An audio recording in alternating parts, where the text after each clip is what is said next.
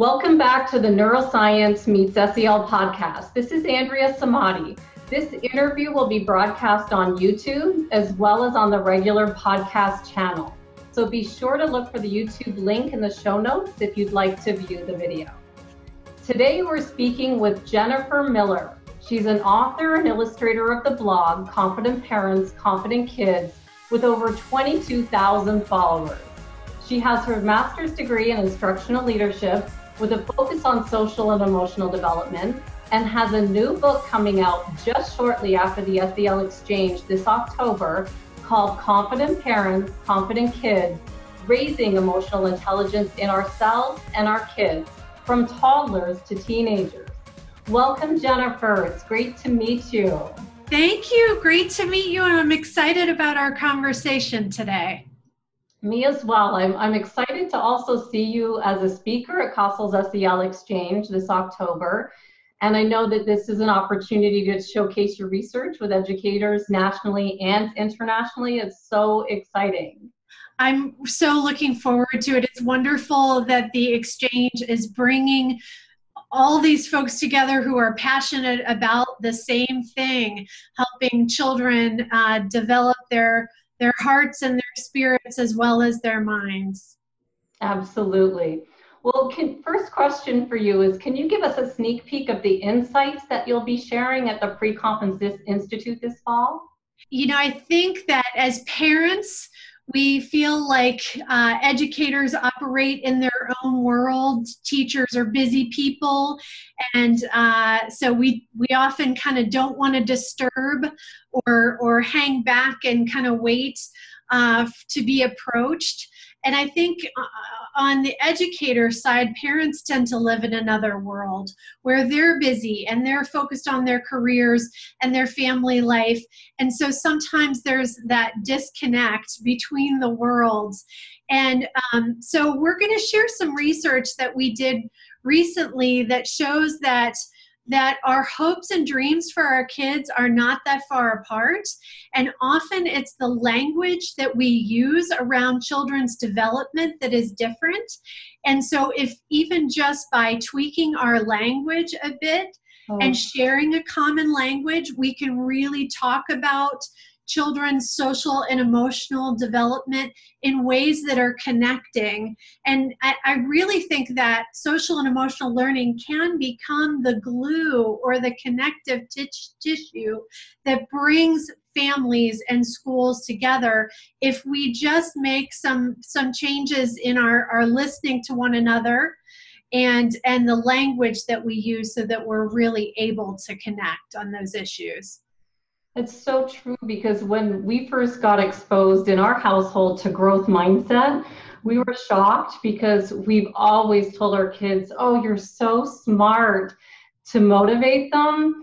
And then it was hard to change that language into, and, and we both work around kids in schools. And then I had to change it to, well, you work so hard. And it was a little bit of tweaking and effort to get a different result but we had no idea the research behind was showing that you know you're not supposed to tell your kids how smart they are. Yes. But that i love hearing that because that was really you were into a habit of saying oh you're so smart. And and so in order to really inform your parenting through through your new knowledge of the research you worked on it. You became intentional about it. I often tell parents st- stick a, a, a, sticky on your refrigerator just as a reminder uh, because our language with our children really does matter and uh, so i love how you turned around a, a small little language change in your family life to really help your children see that they're always learning, they're always changing, there, there's always an opportunity to grow. Right, and just as we can do this, it can go into the curriculum, little changes in the way that the curriculum, you know, on a math problem. Well, if you haven't got it yet, keep going. So, right. you know, it's it's wonderful. Right. Well, I know that we've both heard this question many times and it's often kicked around in different settings. And I hope this interview can shed some light on some of the solutions to bridge the gap in this next question.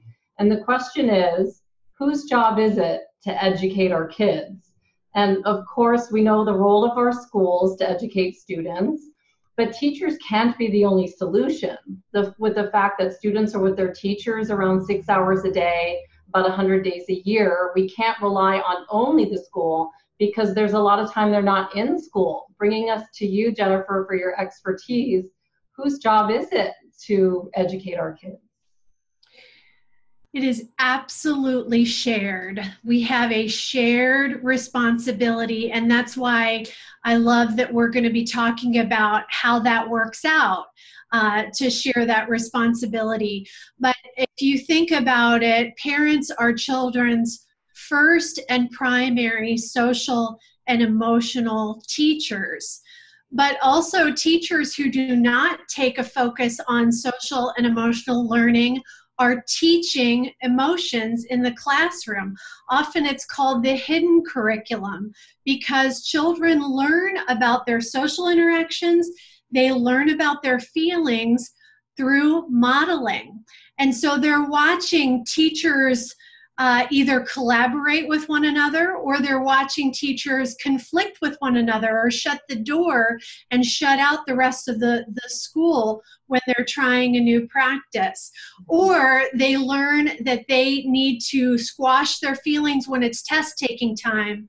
There's, you can't show anxiety, you can't show stress, even if you deeply feel it. The only time feelings can be shown is on the playground. That's the children are learning that. So, um, so there is very much a shared responsibility between parents and educators when it comes to children's social and emotional development.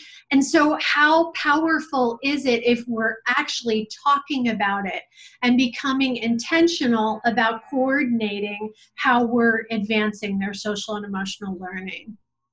Absolutely.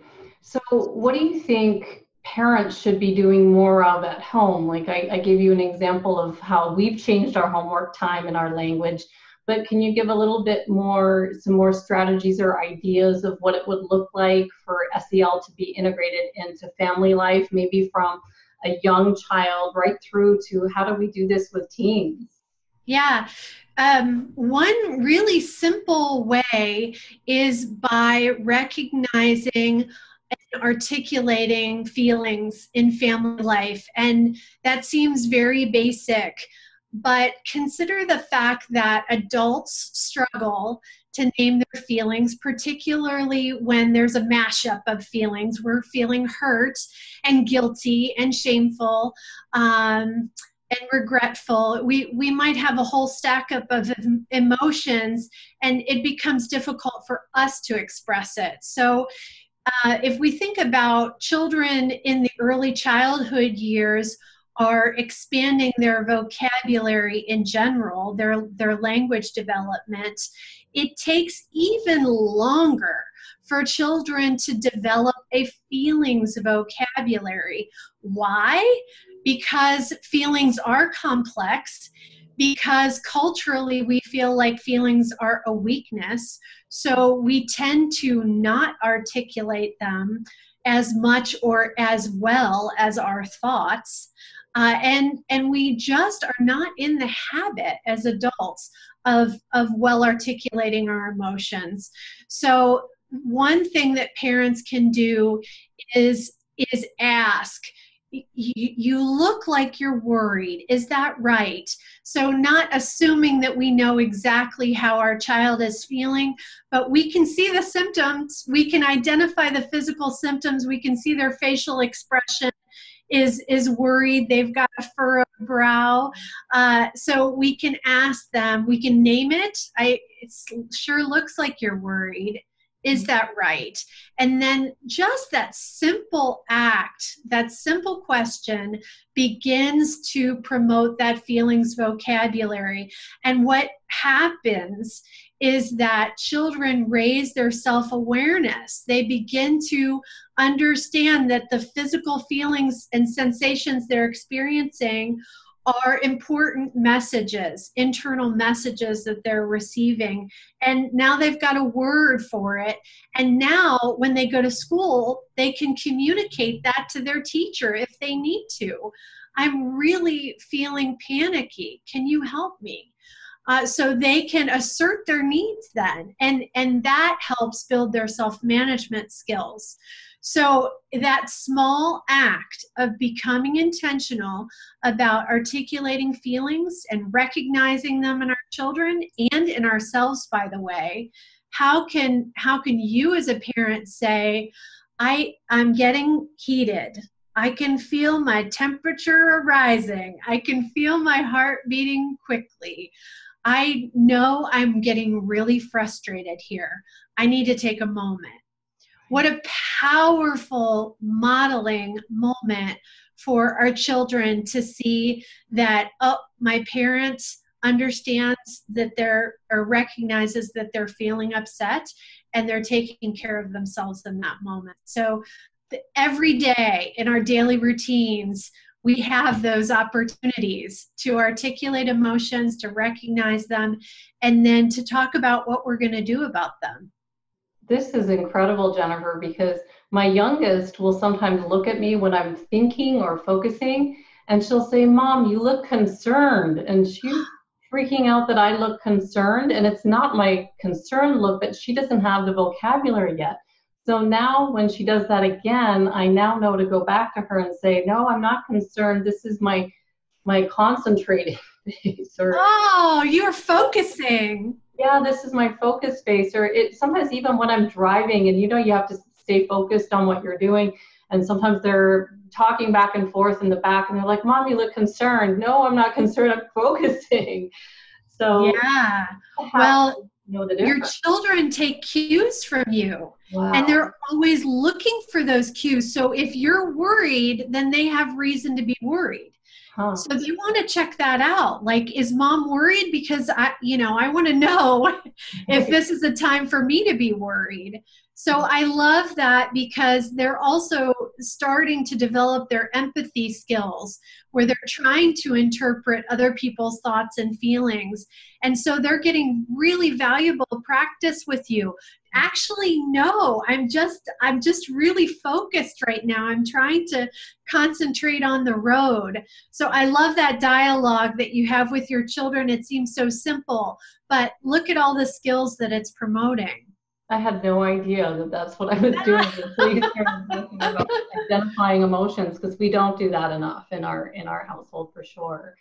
But how can schools now effectively partner with our chil- our families in support of our children? you know, um, understanding how to support children's social and emotional development is a learning process for us all.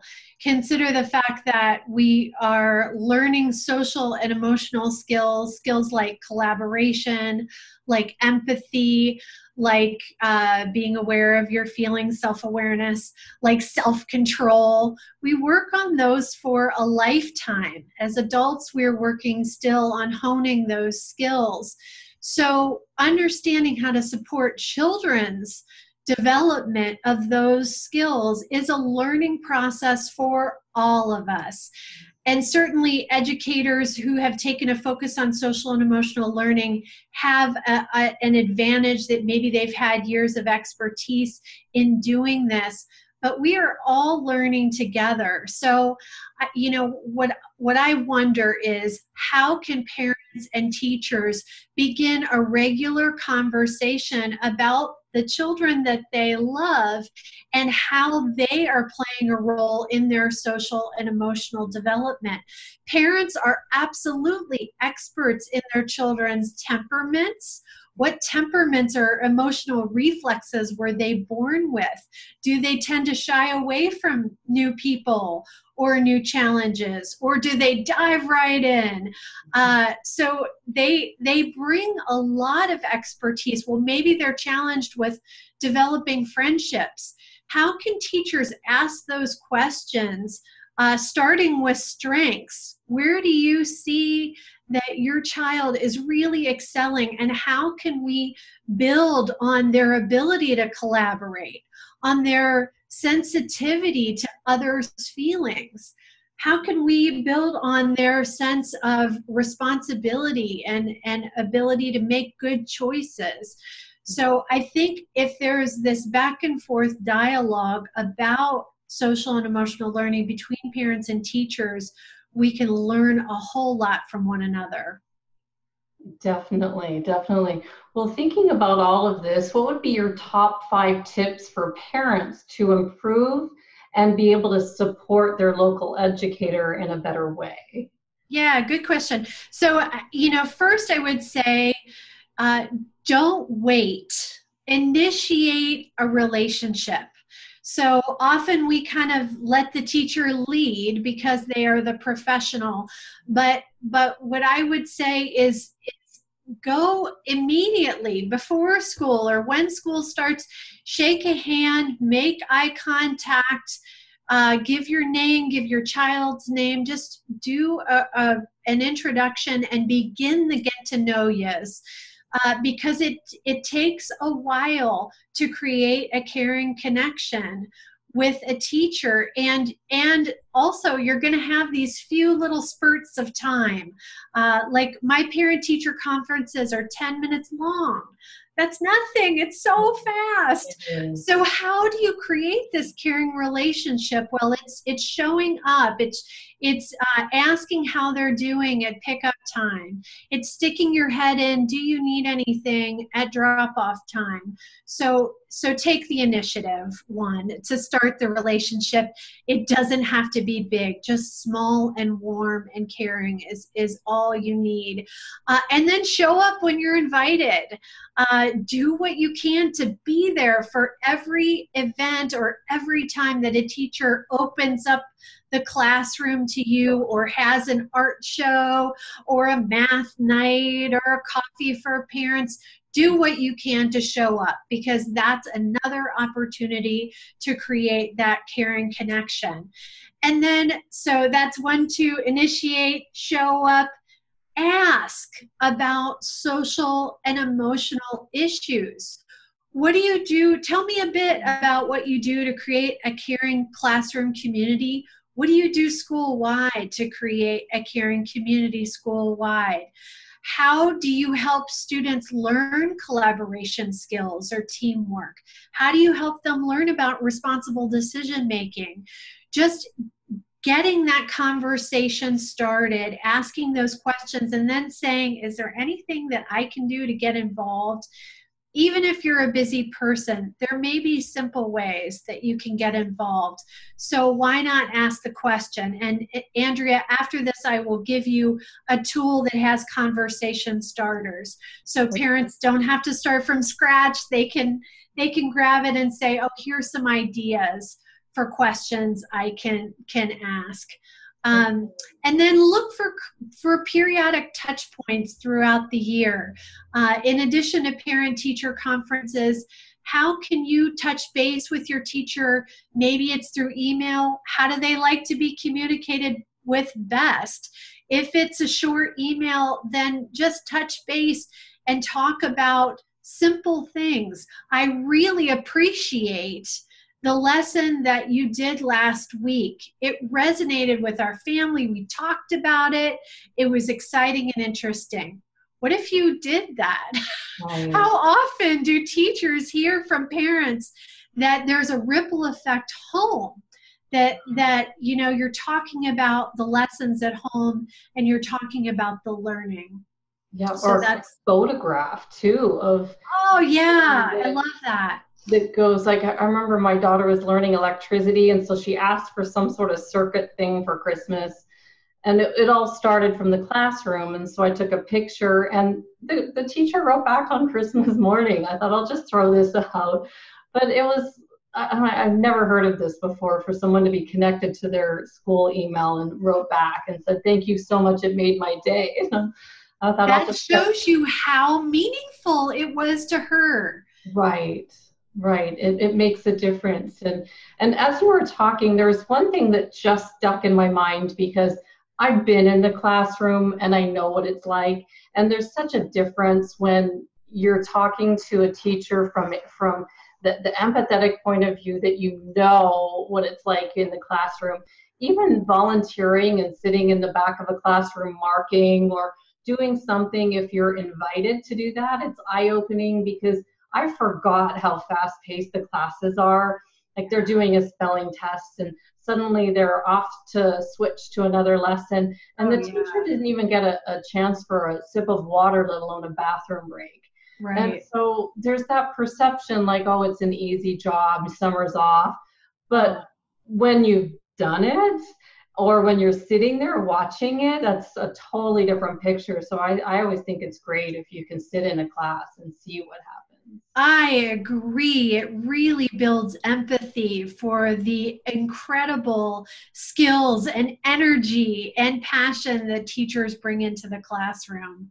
Um, so if if your teacher invites you in, it's it's a wonderful opportunity to go and experience what actually happens. Definitely. Yeah. yeah. What about some tips for teachers to better connect with parents? Well, for teachers, um, I think. Uh, first of all, just looking for those opportunities to build a caring connection from the beginning and often. So, how can you find little ways, uh, again, at drop off time, at pickup time, to make a connection one on one, get to know the parents' families? Um, I also have a tool called Get to Know You, where uh, parents or te- I'm sorry, teachers can send to fa- home to families a, a, simple worksheet at the beginning of the year that asks some personal questions oh. to get to know family life. What's family life like? So that they quickly get to understand this, their students and, and the families that they go home to. So, how can you create that caring relationship in small, frequent ways? And then also, how can you look at parents as experts in their own right about their children.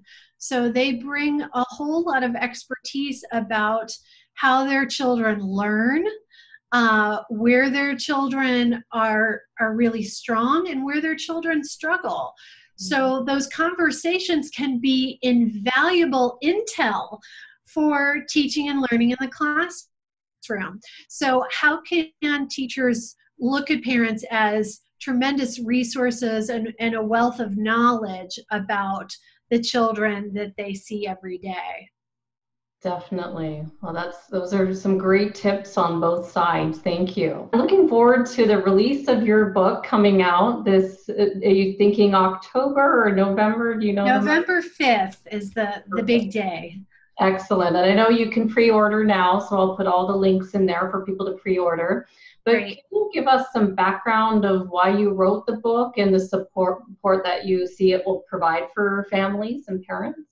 Sure. So I uh, I meet with a the local moms clubs in Central Ohio, and uh, and I wanted I've wanted to write a parenting book for many years. And I surveyed a large group of parents from this, this parents club. I should say a parents club because dads are members as well. but uh, I, so I surveyed them and I said, if you read a parenting book, uh, and you could only pick one off the shelf, what, what, what would be what would it be about?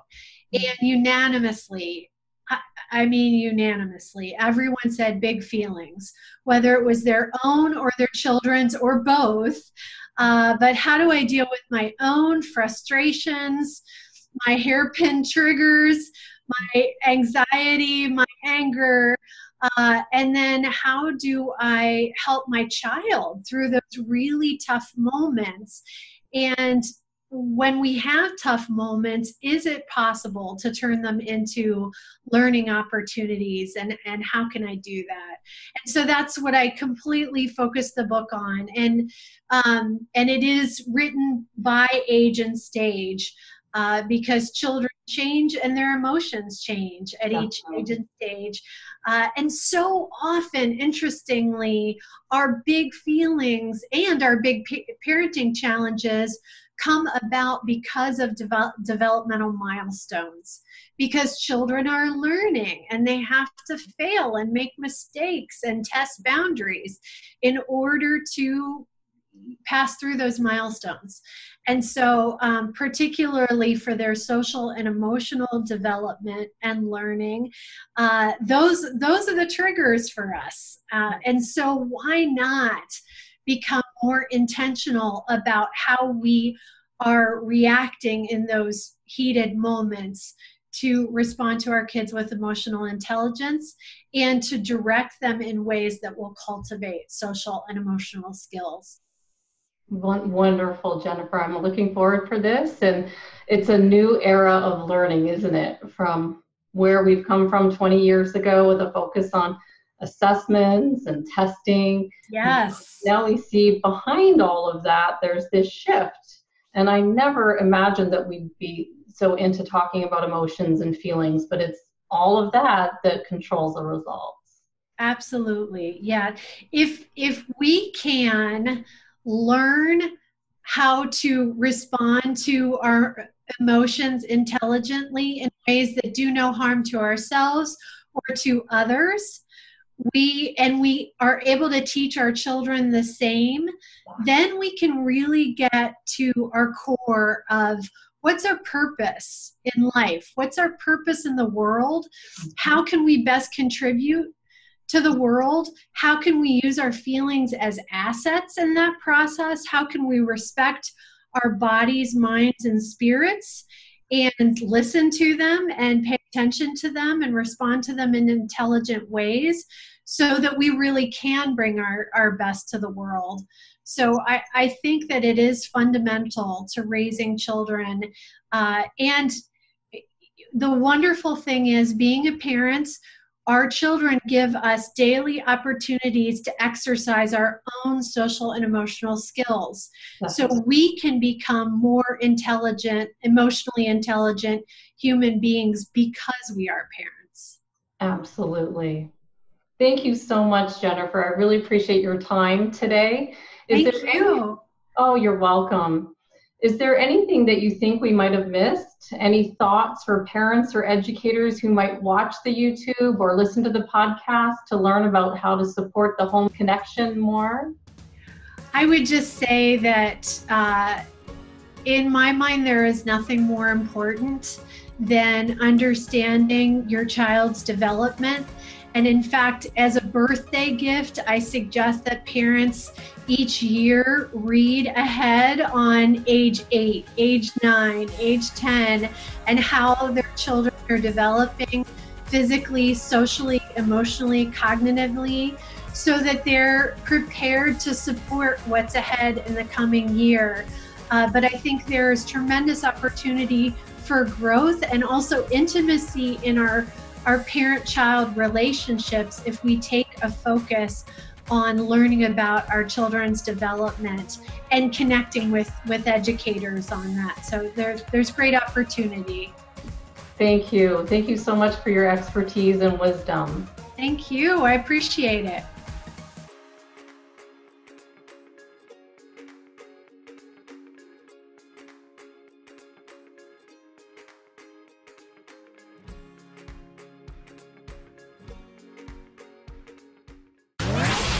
enjoying the Neuroscience Meets Social and Emotional Learning podcast, please don't forget to subscribe so you'll stay up to date with our new episode. While you're there, please feel free to give us a review or a five star rating as it helps others find us. For more information on our programs, books, and tools for schools and the workplace, visit us at www.achieveit360.com.